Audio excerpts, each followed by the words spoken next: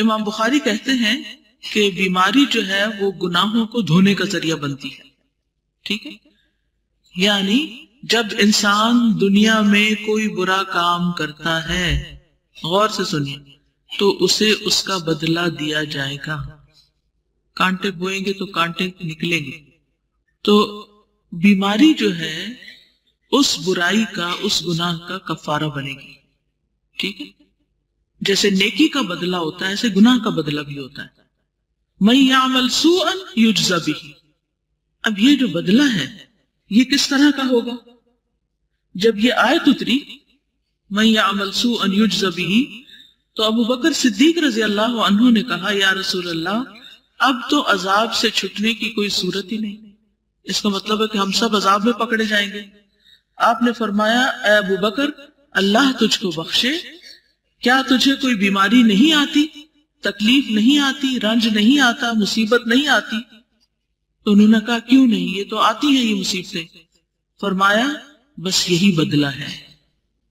यानी मोमिन के लिए दुनिया में जो भी तकलीफ़, गम, अजियत, परेशानी, हम, फ़िक्र तफक्रात कोई बीमारी आ जाती है तो ये उसके बुरे अमाल का कफारा बन जाती है। इसी तरह हज़रत आशा से रिवायत है, मैंने इस हदीस का मतलब आ हज़रत सल्लल्लाहु अलैहि वसल्लम से पूछा, आपने फरमाया, रंज और गम यहाँ तक कि कोई चीज़ जो आदमी के हाथ में हो, वो खो जाए और फिर उसको घबरा कर ढूंढे और मिल जाए उसको तो ये सब बदला में शुमार होता है। ये सारे का सारा बदला शुमार होता है। यानी इन बदलों की वजह से आदमी गुनाहों से ऐसा पाक साफ़ हो जाता है, जैसे सोना भट्टी से पाक होकर निकलता है। तो मोमिन को कोई भी तकलीफ़ हत्ता के कांटा जो चुपता है, उसके बदले में भी उसके गुनाह जड़ते हैं। तो उस वक्त सब्र करना, हौसला करना, मुतमईन रहना कितना आसान हो जाता है। जब इंसान को यह पता चलता है कि ये दुनिया में ही मेरे गुनाहों को झाड़ने का ज़रिया बन रही है तकलीफें, ये परेशानियाँ तो फिर इंसान परेशानी को सुकून से झील लेता है। वरना तो इंसान समझता है कि मैं कैद में आ गया हूँ। तो बीमारी जो है, ये गुनाहों का कफारा है। हज़रत आयशा रज़ी अल्लाह जो नबी सल्लल्लाहु अलैहि वसल्लम की जौजा हैं, कहती हैं, काल रसूलुल्लाह सल्लल्लाहु अलैहि वसल्लम, रसूलुल्लाह सल्लल्लाहु अलैहि वसल्लम ने फरमाया, मा मिन मुसीबतिन तुसीबुल मुस्लिमा नहीं कोई मुसीबत जो किसी मुसलमान को पहुँचती है इल्ला कफर अल्लाह बिहा अनहु। मगर ये कि अल्लाह ताला उसके ज़रिए उससे कफारा कर देते हैं, यानी उसके गुनाहों का। हत शौकती युशाकुहा, यहाँ तक के एक कांटा भी जो उसके बदन में चुभे। उससे भी उसके गुनाह उतार दिए जाते हैं।